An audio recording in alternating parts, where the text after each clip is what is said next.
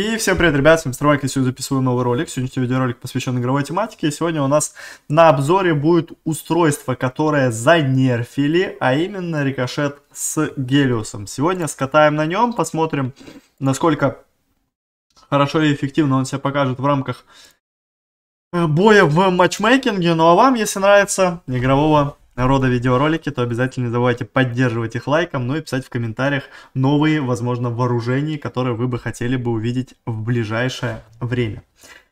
По дрону, я думаю, что мы оставляем дрон кризис. Ничего здесь менять не будем, но берем э, ту самую комбинацию с паладином. Лучшая комбинация, которая только может быть под это под этот э, рикошет с Гелиусом. Ну и по режиму я бы, наверное, хотел бы запикаться сегодня в определенный режим. И это будет режим TDM очки. По резистам у меня пока что стоит Скорпион, Гром и Магнум.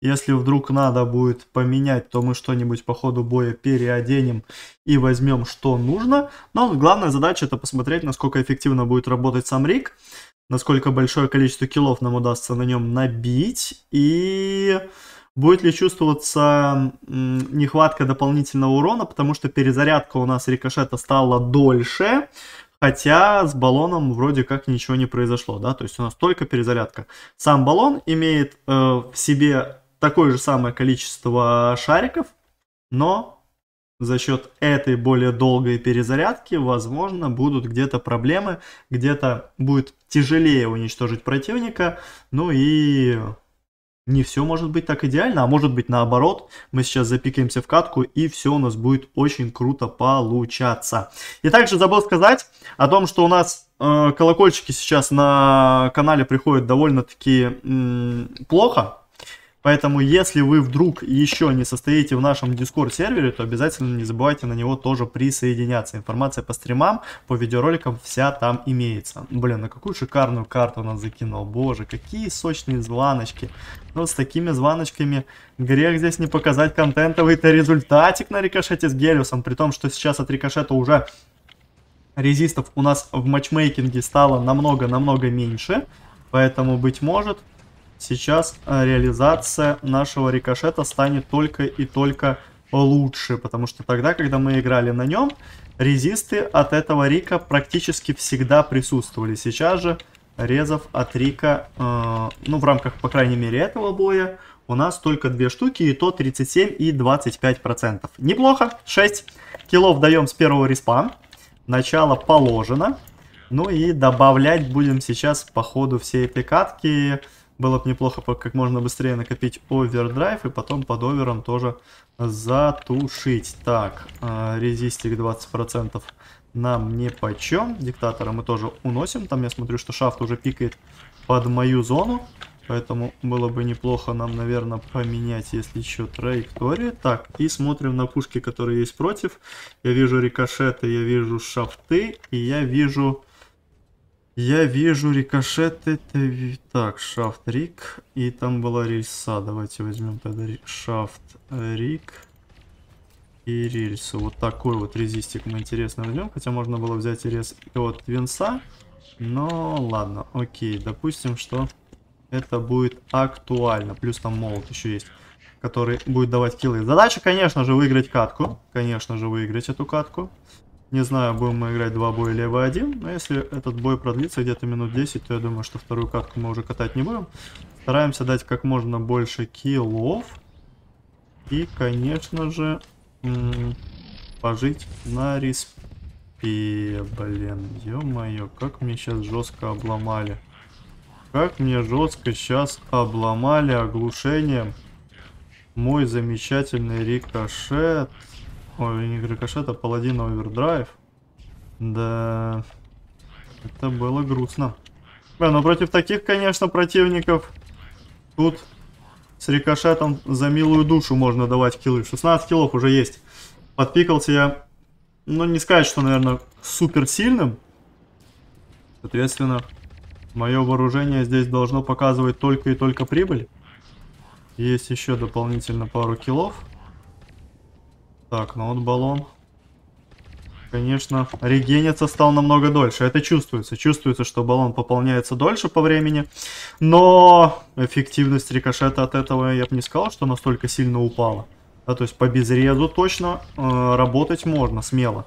Против резистов, да, наверное, уже этот рикошет не будет работать. Если раньше я говорил, что и против реза с кризисом можно супер эффективно играть, и все будет получаться довольно-таки неплохо, то сейчас я бы сказал, что против реза уже будет очень тяжело что-то сделать. И тем более набирать большого, большое количество очков. Так, этого мы не забрали, к сожалению. 21 килл за 4 минуты. Это хороший результат, 21 килл грубо говоря, треть киллов от э, катки меня получилось сделать пока что. Это еще с учетом того, что я не реализовал ни одного овердрайва. У меня был один единственный овердрайв, который я, вы видели, каким образом прожал и как он у меня улетел в пустышечку. Поэтому будем считать, что это без единого овера. Без единого овера я бы, наверное, сказал, что это неплохой результат. Так, вот, резист, например. Резист. Ну, да, порезу все. Порезу, короче, до свидания. Порезу без шансовик. Порезу даже с кризисом. Порезу уже мало что у вас получится сделать. Но, но, но, но. Нужно же не забывать еще момент того, что у вас есть овердрайв паладина. И как раз таки, когда вы будете под овердрайвом, там-то вы сможете спокойно такие танки разбирать. Вот сейчас как раз таки у меня будет овердрайв. И можно попробовать поиграть под резисты. Так, первого уничтожаем. Второго уничтожаем. Третьего уничтожаем. Лучше запушим другую сторону. Ближе к базе противника. Тех, я думаю, что наши тиммейты и так разберут. Блин, и громчик какой-то мне смачный прилетел. Вот так вот рез от грома снял, а сразу громчик со сплэшом. Бэм! Туда закидочку оформил, и все, и все. Я уже на рез полетел. Без шансово. Так, пробуем забирать здесь хорька. 85 килов у нас уже есть за 5,5 минут. Поппер открывается под меня. Сливаем его тоже быстро. Надо переключаемся. Быстренько пробуем забрать Твинса. Отлично, клинца тоже забираем. 34 килла уже в рамках этого боя. Добавляем. Добавляем. И еще добавляем. Есть контактик. Есть контактик. Но если будет серьезный противник, то боюсь, что вот настолько жесткого результата уже показать с этим рикошетом не получится. Ну и плюс нужно учитывать тот факт, что... О, железов сколько понацепляли что мы играем с кризисом. Без кризиса такая комбинация будет намного, намного хуже себя показывать. Намного. Именно паладина, рикошет. Да и вообще Гелиус с Риком, да, это то устройство, которое без кризиса смотрится намного-намного хуже. Да, но в связи с тем, что у нас кризис сейчас имеется у большого количества игроков, я подобные обзоры могу смело записывать. Так, шафт меточку дает хорошую. Отлично, сливаем его. Миночки его не сработали. Так, тут миночку в подъем. В упорчик лезем сразу викингу, чтобы его унести. Отлично, уничтожаем. Винс пытается накидочку какую-то произвести. Аккуратненько его тоже сливаем. По викингу теперь накидон. Можно, можно его тоже забрать. Отлично. Так, и у меня появляется овердрайв, овердрайв, овердрайв. Пробуем забрать диктатора. Отлично, диктатор уходит на респ. Лак сервера какой-то происходит. Так понял, что викинг разрядился под этот лак. Да, мы его выпушиваем. У него как раз резист есть. Резист мы быстренько обрабатываем, сливаем, нагибаем. Так, дальше. Аккуратненько в упорчик играем. Против резиста, конечно, да, паладин, он он шикарен против резиста.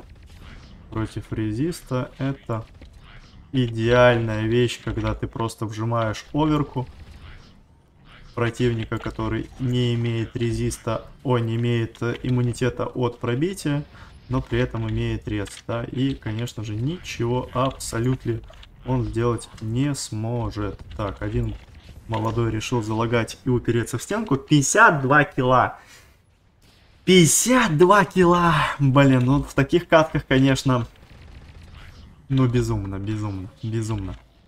Очень безумно. Даже после нерфа.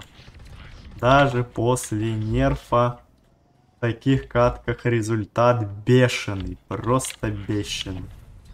Но не всегда у вас против будет попадаться такого рода противники. И не всегда у вас будет получаться давать такие контентовые цифры. Да, по безрезу, с более ослабленным противником, этот рикошет будет находиться в такой же идеальной, шикарной, нагибаторской мете. Но, если ситуация повернется немножко другим образом, вряд ли у вас получится давать такие безумнейшие цифры. Поэтому здесь нужно уже четко смотреть э, от противника, смотреть от резистов противника. И под это все дело подстраиваться. Так, а главное нам еще эту катку выиграть. Потому что я смотрю на счет, понимаю, что мы еще можем ее проиграть. 12 килов отрыва всего лишь, при том, что я дал 57 килов. 50, мать его, 7 килов. И мы еще можем слить этот бой. Офигеть. Так, плюс один килл есть. Шаф пытается меня прицелить. Отлично, на стрейфе уходим под прицелки, плюс даем дополнительный килл. Подбираем дроповый овердрайв, сразу овердрайв в прожатие. Даже долго думать я не буду, и зря. И зря, что я долго думать не буду, потому что надо было чуть-точку притормозить. Минус килл для своей команды. И самоуничтожение, это ужас. Это ужас, когда у нас еще такая ситуация на карте, где я мог дать плюс где-то 3-4 килла с легкостью под прожатым овердрайвом. Я ухожу на респ. Деличусь. Сейчас я еще и катку из-за этой ерунды проиграю. Офигеть, будет жестко. Если реально мы проиграем сейчас этот бой, будет супер печально. Один килл даем. Разворота по хоречку. Еще добавочку. А противник уже так не очень приятно играет. Блин. Не сливаем. Что по вот такому. Чуть-чуть накидать. Блин, чувствую жареное. Чувствую жареное, ептить. Давай, давай, давай, пацаны, давай, давай, давай. 4 килла. 3 килла. Блин, моя ошибка может сейчас решить исход этой игры. Моя ошибка может решить исход этой игры. А противник еще так аккуратно прикрывается под стенки. Ух, ё-моё, я испугался, честное слово. Фу, фу, фу, фу, фу. Я думал сейчас из-за моего этого минуса мы еще и катку проиграем. Ну что я могу сказать в целом? В целом рикошет вот такой. Бодряковый, четкий, аппетитный, сочный. Слабый Рик никогда бы за катку не дал бы 62 килла. Но, но, но, ослабление и нерв его чувствуются. 100%. Он стал слабее. На сколько процентов слабее? Ну, где-то на процентов 15-20. Да, но на все, на нем все так же по безрезу Точно. Вот если нет реза у противника, у вас этот рикошет есть, есть паладинчик, есть кризис. Смело можно брать. Смело можно брать.